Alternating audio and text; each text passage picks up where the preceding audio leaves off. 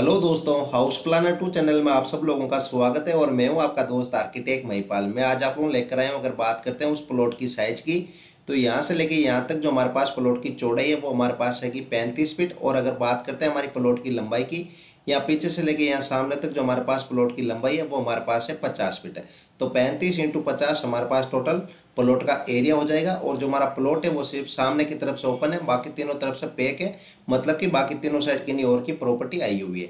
तो चलिए इसके सामने से शुरुआत करते हैं। तो सबसे पहले देखिए दोस्तों, हमारे पास है नौ फीट का मेन गेट इस मेन गेट को हम जैसे ही खोलते तो पहुँचते हैं पार्किंग एरिया के अंदर, जिसकी हमारे पास आई है नौ फीट तीन इंच बाई चौदह फीट नौ इंच पार्किंग की इस तरफ़ आते हैं? तो यहाँ पर हमारे पास है पोर्च है, जिसकी हमारे पास आई है चार फीट बाई बारह फीट पोर्च के जैसे सामने यहाँ पर देखिए दोस्तों, हमारे पास है घर का मेन डोर चार फीट का।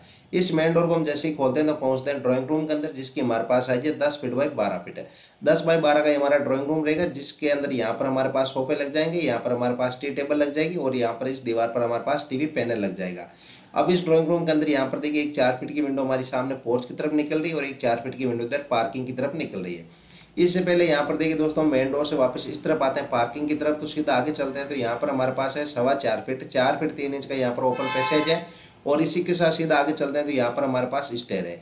यहाँ से आप करेंगे और यहाँ पर डाउन हो जाएँगे और साढ़े तीन फीट बाई साढ़े तीन फीट हमारे पास स्टेयर केस का लैंडिंग रहेगा। तो जो हमारा ये प्रॉपर्टी वो हमने रेंटल प्रॉपर्टी के अकॉर्डिंग डिज़ाइन दिया है। तो आप चाहो तो इसको फ़र्स्ट फ्लोर बनाकर आप इसको रेंट पर भी दे सकते हो। तो यहाँ पर जो स्टेयर है, वो हमारे घर के आउटसाइड है। फिर यहाँ पर देखिए दोस्तों, ये हमारे पास एक और घर के अंदर मेन डोर की एंट्री है, यहाँ पर चार फीट का मेन डोर है।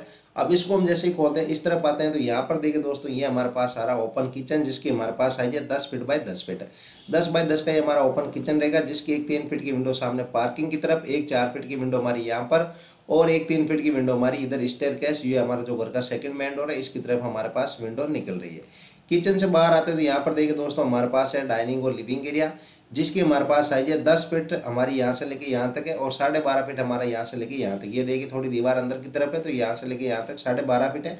और टोटल जो हमारी यहाँ से लेके यहाँ तक हमारी डाइनिंग और लिविंग की चौड़ाई है, ये हमारे पास है अट्ठारह फीट है। तो यहाँ पर हमारी डाइनिंग टेबल लग जाएगी और यहाँ पर आपके फैमिली सेटिंग यहाँ पर बैठने के लिए सोफे लग जाएँगे, ठीक है? फिर यहाँ पर देखिए दोस्तों, साढ़े तीन फीट का दरवाज़ा और हमारा घर का फ़र्स्ट बेडरूम है, जिसकी हमारे पास साइज़ है ग्यारह फीट बाई बारह फीट है। ग्यारह बाई बारह का हमारा बेडरूम है। जिसकी एक चार फीट की विंडो हमारी सामने निकल रही है और एक यहाँ पर हमारे पास यहाँ पर बेड लग जाएगा, यहाँ पर वोड्रॉप लग जाएगी और इस बेडरूम का यहाँ पर टीवी यूनिट लग जाएगा, ठीक है?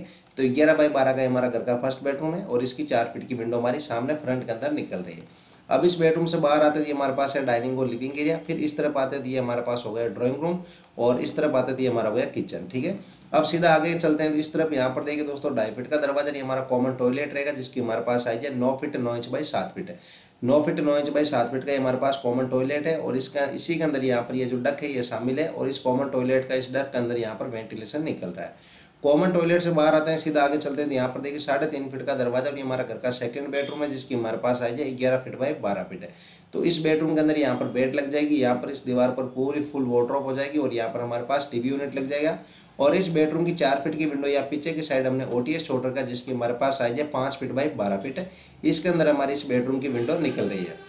अब इस बेडरूम से बाहर आते यहाँ पर देखिए दोस्तों, साढ़े तीन फीट का दरवाज़ा और ये हमारा घर का तीसरा बेडरूम है जिसकी हमारे पास साइज़ है बारह फीट बाई बारह फीट बारह बाई बारह का हमारा घर का तीसरा बेडरूम है, जिसके अंदर यहाँ पर बेड यहाँ पर वोड्रोप और यहाँ पर टीवी पैनल लग जाएगा। और इस बेडरूम की चार फीट की विंडो भी इस ओटीएस के अंदर निकल रही है।